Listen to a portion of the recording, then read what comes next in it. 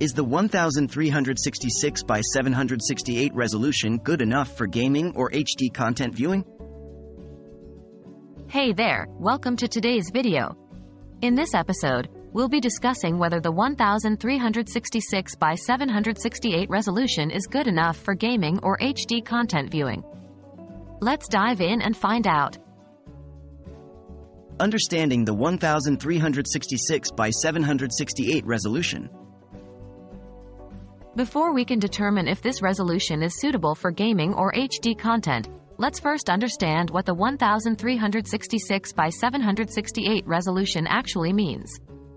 1366 by 768 refers to the number of pixels displayed on a screen horizontally and vertically. In this case, the screen has a width of 1366 pixels and a height of 768 pixels. Gaming experience. When it comes to gaming, the resolution of your display plays a significant role in determining the visual quality and overall gaming experience.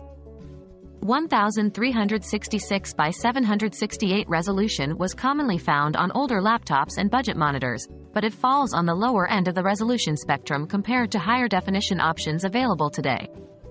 While it can be used for gaming, it does have some limitations. The lower resolution means that you'll have a smaller amount of screen real estate available, which can affect your field of view and make it harder to see details in games. Additionally, the lack of pixel density may result in less sharp and crisp visuals compared to higher resolution displays. However, the suitability of the 1366 by 768 resolution for gaming depends on the specific games you play.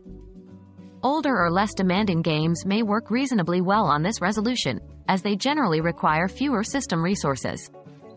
But for newer, more graphically intensive games, you may have to compromise on visual fidelity and lower the graphics settings to maintain acceptable performance. HD content viewing. Now, let's talk about HD content viewing on a 1366 by 768 resolution display.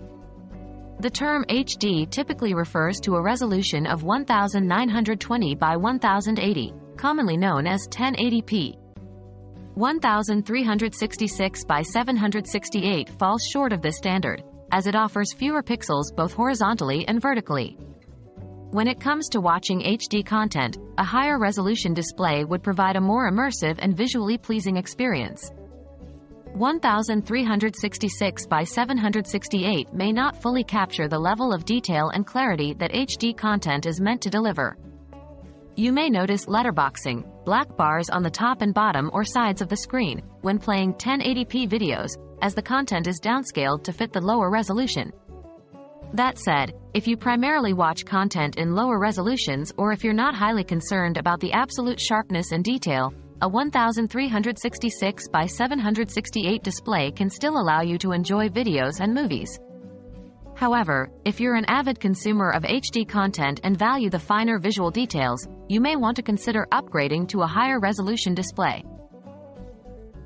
To sum it up, the 1366 by 768 resolution can be used for gaming and HD content viewing, but it does come with some limitations. For gaming, it may not provide the optimal experience, especially for modern, demanding games.